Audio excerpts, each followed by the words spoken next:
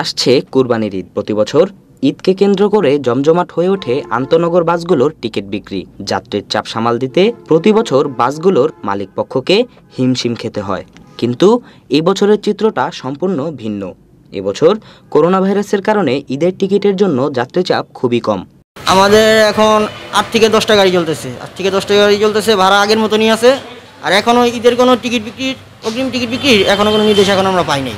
যাত্রীদের স্বাস্থ্য সুরক্ষার জন্য আমাদের এই হ্যান্ড স্যানিটাইজার আছে হ্যাঁ? তারপরে বসার জন্য আলাদা আলাদা সিস্টেম আছে হ্যাঁ?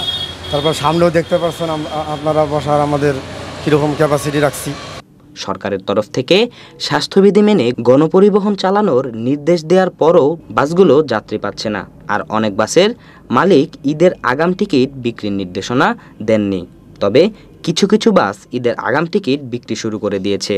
তারা সরকারের নির্দেশনা অনুযায়ী বাসের ভাড়া ষাট পার্সেন্ট বৃদ্ধি করেই টিকিট বিক্রি করছে এবং সরকারকৃত নির্ধারিত স্বাস্থ্যবিধি মেনেই বাসে যাত্রী ওঠাচ্ছেন।